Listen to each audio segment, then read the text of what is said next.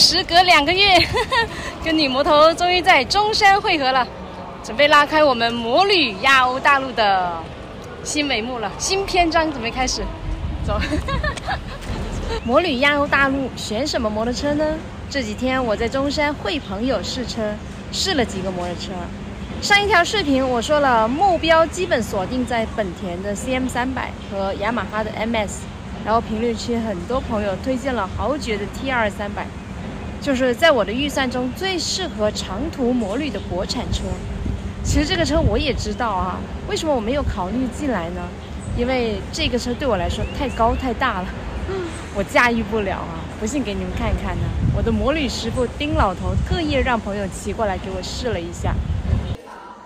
哇我也很喜欢这个车，老实说，但是呢，还是有点高。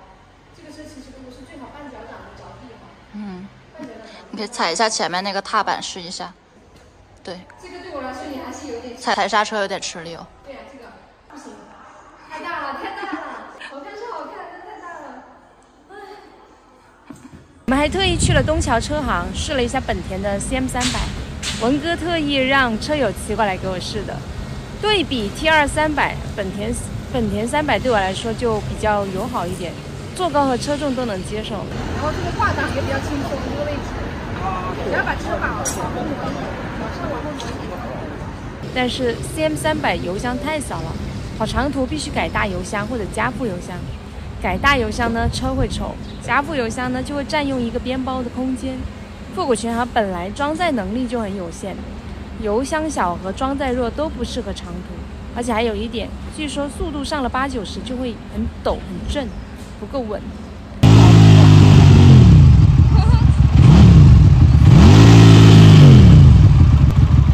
哎，贼帅的，你看。但是这个车跑亚欧大陆肯定不太合适。以后给我推荐跨骑的话，车重和坐高就按照闪三百的标准来给我推哈。最后呢，综合考虑，还是决定骑雅马哈的 MS 幺五五吧。虽然踏板车没有跨骑那么帅，但是这个车质量够稳，操控方便，上手也快。座桶里面可以加副油箱，装载也方便一些。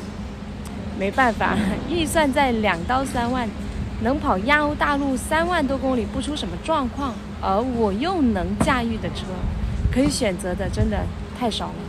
在颜值和实用之间。我还是选择了实用啊，我觉得里子比面子更重要。这几天试车都是中山的老朋友们来帮忙啊，我已经回到大中山了。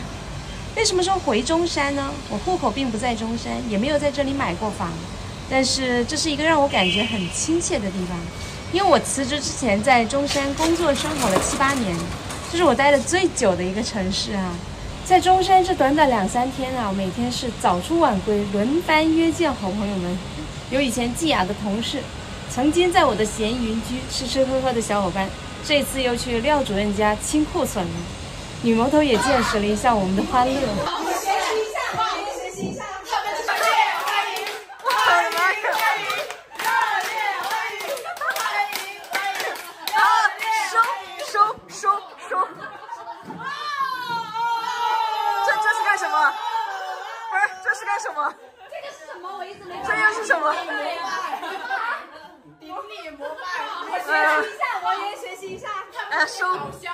飘飘的朋友们，飘飘这两天是在中山跟他的朋友们聚会，曾经一起夜行探店、走访古村落的读书会朋友群，这次去树木园走走聊聊，意犹未尽。曾经一起爬哈巴雪山和船梯顶的风雨户外兄弟姐妹们，到老王的农庄做了个小小的分享会，这里可以钓鱼、射箭、K 歌、野餐，很适合团建的。